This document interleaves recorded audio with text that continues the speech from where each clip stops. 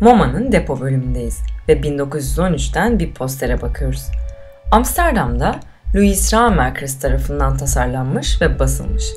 Çok basit materyallerin dramatik kullanışını görüyoruz. İki renk litografik olarak basılmış yani taş baskı yöntemi kullanılmış. Görsel ve yazının yeni bir kombinasyonunu sunuyor bize.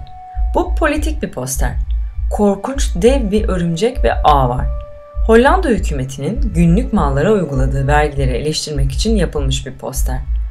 Burada ağlara sarılmış olarak yiyecek, giysi ve aletleri av olarak görebilirsiniz. Hepsi bu vergilere tabiydi.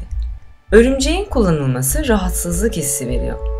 Örümceklere karşı olan doğal korkumuzu kullanıyor. Yeni olan ise küçük mikroskobik böcek yaşantısını gözler önüne detaylarla sergiliyor olması. Kıllı bacaklar onların ucunda ağa sıkıca tutunan kancalar.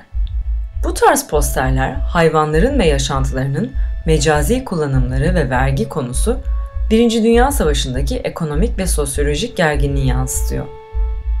Raumarkers'ın politik posterlerde hayvan kullanımı ve tekniği Birinci Dünya Savaşı'nda o kadar etkiliydi ki Alman hükümeti başı için ödül koymuştu ve bu yüzden Amsterdam'dan Londra'ya kaçmak zorunda kaldı.